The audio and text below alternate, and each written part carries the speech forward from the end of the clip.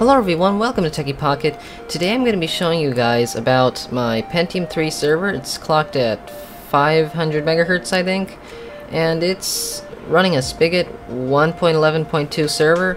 Someone asked this comment right here, and it's his server is his PC actually is running faster than the computer I have, and so my one with like three players runs at like over 100 FPS on my computer fine, and there's no stuttering at all. It loads chunks pretty easily, and so this guy's PC is is uh, double mine, almost double mine, and so he should be able to get at least five players on here, if not 10 maybe.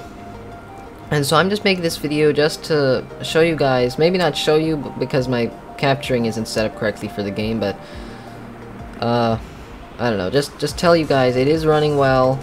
It's running over 100 hertz. The chunks are loading good. It just can't handle more than three players, and I'm not going to be able to record it for, you know, because of that. I, I, I can't record it because my capture card isn't set up correctly, so, um, yeah, that's it. But you see we have 45 subscribers. Uh, that's uh, five more since our last stream. That's very good. We seem to be growing up a little better lately. So, uh, just wanted to make this quick video because he, he was wondering, and I can't really benchmark him, sorry about that, but uh, besides that, it's running pretty well. I don't know. Uh, comment your questions below for the Spigot server, I'll be sure to answer them, and I'll see you guys next video. Bye!